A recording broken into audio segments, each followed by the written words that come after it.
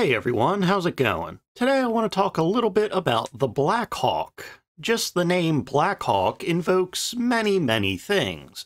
From the bird simply known as the Black Hawk, which unsurprisingly is a black-colored hawk, to perhaps most famously the UH-60 Black Hawk helicopter of Black Hawk Down fame, to the Chicago Blackhawks, a hockey team, to the U.S. 86th Infantry, known as the Black Hawk Division. Now, probably because I don't really pay attention to hockey, I just kind of assume that these things were named after the bird. I mean, naming a helicopter after a bird, they both fly, it's just logical. But no, all of these things, minus the bird, are actually named after a Native American chief named Black Hawk, who fought on the side of the British against the United States in the War of 1812, and who led a group of natives in the so-called Black Hawk War in 1832. Now, considering that he was basically considered to be an enemy of the United States all the way back in the day, it initially seems a little odd that so many American military things and just American things and places in general would be named after him. But after the Black Hawk War led to his capture and arrest, Black Hawk was essentially paraded around the United States and kinda became a bit of a spectacle, and towards the end of 1833, Black Hawk told his life story to a government interpreter, and this was then in turn published into an autobiography that became a bestseller. Combine this with later historical and moral analysis of America's westward expansion and the treatment of the natives, Black Hawk essentially became something of a folk hero, a brave, honorable man who stood up and fought for his people. Now, a lot of that is just a cursory glance at his history, and most of that I'm just now learning for the first time, actually.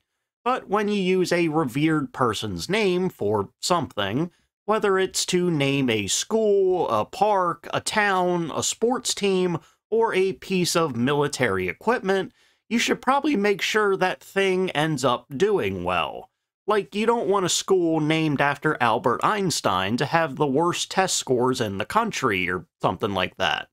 This then brings us to our subject for today an aircraft named after Black Hawk, but not the helicopter that you're thinking of.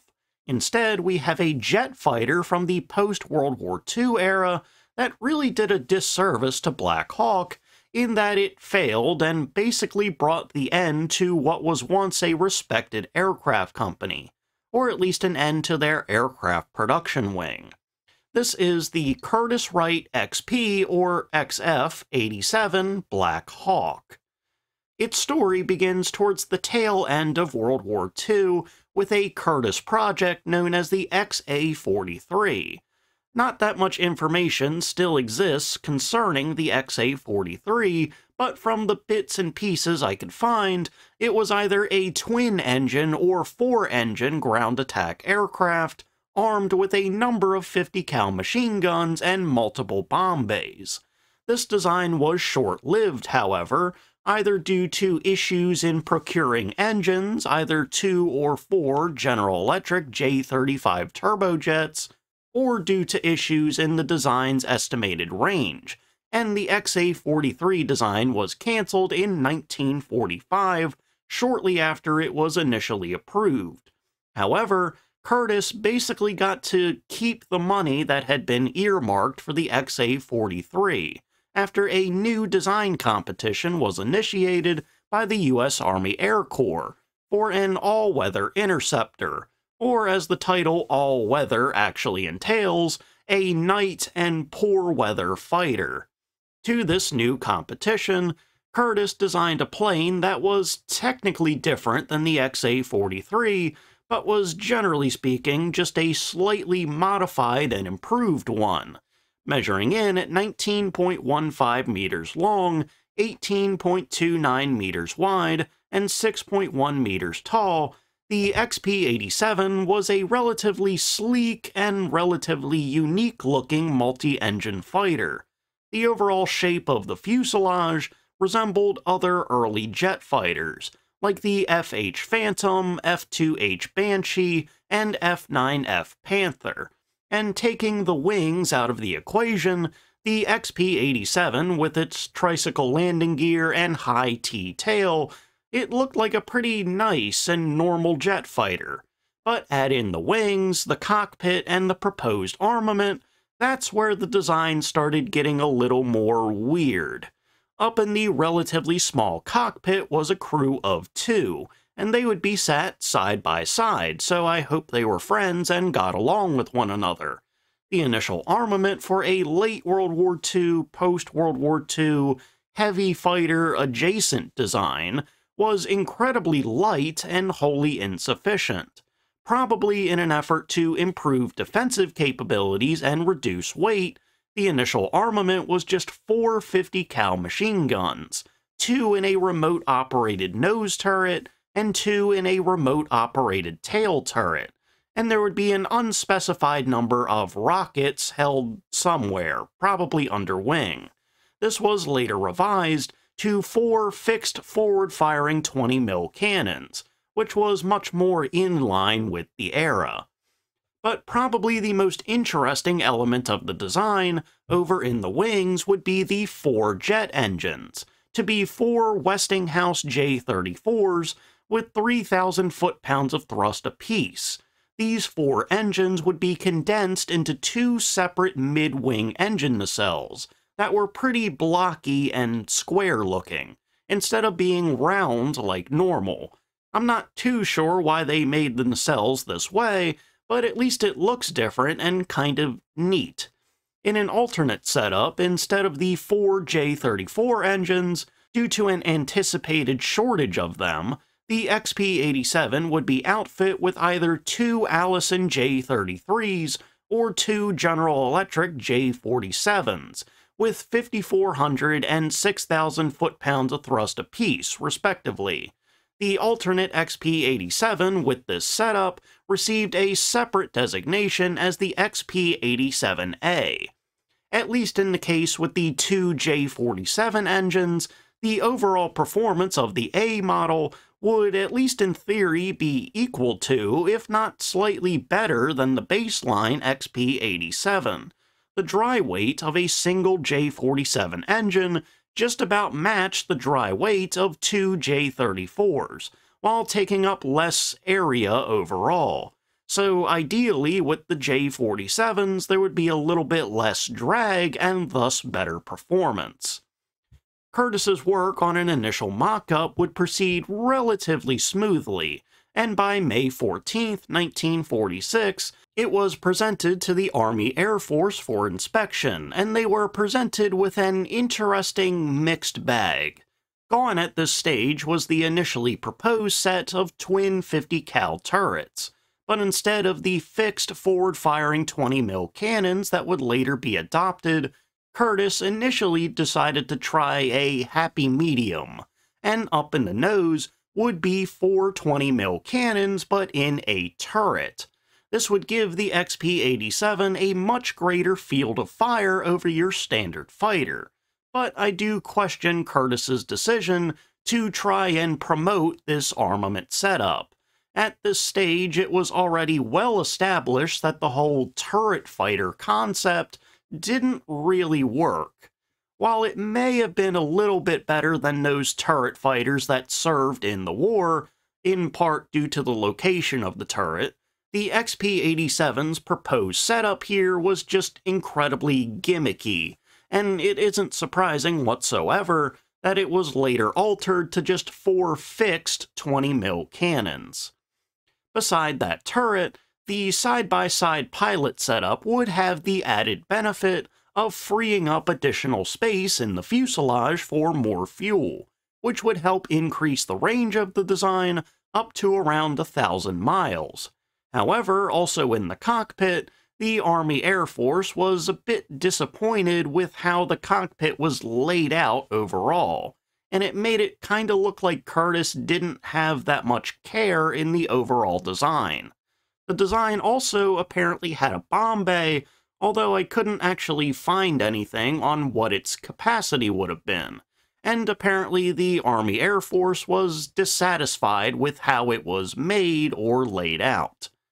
These faults forced Curtiss to go back to the drawing board for a little bit, and combined with the general slowdown in military development after the war came to an end, it wouldn't be until 1948 that the first prototype was completed, and in early February the plane would be loaded up and shipped over to Muroc Dry Lake, where Edwards Air Force Base currently resides, for its initial flight testing as the Curtiss factory was in Columbus, Ohio, and Muroc was over in California, the XP-87 had quite the travel ahead of it. And again, I couldn't find the specifics, but in that cross-country journey, the XP-87 apparently got into two different car accidents. Not serious ones or anything, but using context clues from what little I could find, I think there may have been several instances where the truck carrying the XP-87 encountered a low bridge or small tunnel that couldn't fully fit the aircraft through it, which led to a couple of incidents. But again, these weren't serious, and on March 5, 1948, the XP-87 took to the air for the first time. And just like how the initial mock-up was a bit of a mixed bag, the actual initial flight performance of the XP-87 was a mixed bag as well, because of its four engines, despite the fact that the XP-87 had a staggering gross weight of 49,900 pounds, nearly as heavy as the B-24 Liberator, it still showcased a top speed of 600 miles an hour at sea level, which was solidly fast, but also a little bit slower than they anticipated. Still, it had solid speed for its size, and its overall flight characteristics were considered to be solid as well, which is actually a little bit odd considering the initial issues in the design. For one, above either 220 or 300 miles an hour, or just at a third or half of its top speed, the XP-87 started experiencing some buffeting issues, or vibrations in the wings and frame, indicating some kind of aerodynamic issue. Additionally, likely due to its immense weight, the XP-87's maneuverability and climb rate were both pretty poor, with it reaching 35,000 feet in 13 minutes and 48 seconds. Compare this to something like the F-86 Sabre, which admittedly was about a third of the weight, that would reach 30,000 feet in just 5 minutes 12 seconds. Despite these issues, though, the performance was actually considered to be good enough to warrant full-scale production models. Aware though that the four J34 engines were now both underpowered and overly heavy for how much power they output, the production models were to be fit with the J47 engines as standard, and as the classification system for aircraft was altered around this time, the XP-87 became the XF-87, and the order would be for 57 F-87As and 30 RF-87As, the R being used to classify it for photo reconnaissance. This order wouldn't last terribly long, though, and in mid to late 1948, the XF-87 would go head-to-head -head with the XF-89 Scorpion and the XF-3D Skyknight. While none of the participating aircraft really turned heads performance-wise, as the XF-89 suffered from initial issues being underpowered, and the XF-3D just kind of inherently was small and underpowered. But of the three aircraft, the military came to the conclusion that the XF-89 was the best of them, and had the most room to grow and improve, and the XF-87 was considered to be the worst of the three. As a result, in October 1948, the XF-87 project was cancelled, with just one full-scale production model having been completed. A second half-made production model would be scrapped, and by 1949, the only two completed models, the production model and the prototype, were scrapped as well. So ultimately, the lesser known Black Hawk ended up as a complete failure, and certainly did not honor the name and legacy of Black Hawk. And this failure ended up being the end of Curtiss-Wright's aircraft division as a whole, with their repeated failures to break into the late World War II and post-World War II market, Curtiss decided to just cut and run, and focus their efforts on parts, supplies, and machinery and the like. While technically Curtiss did design the occasional aircraft, after shuttering its aircraft division, the XP-87 was basically their last official full-throated effort. Now, I was going to write how the Black Hawk was more like the Black Sheep, but then I realized that that kind of didn't make sense really, and I couldn't think of a different way to segue into the ending here.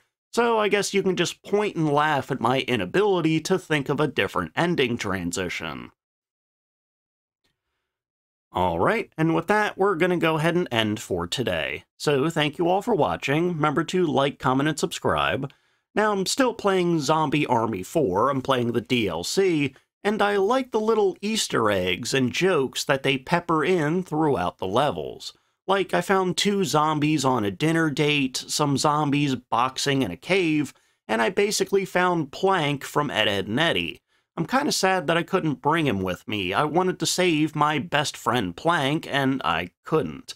0 out of 10 game, wouldn't recommend. But anyway, I hope you enjoyed the video, and I hope you learned something. So, see ya.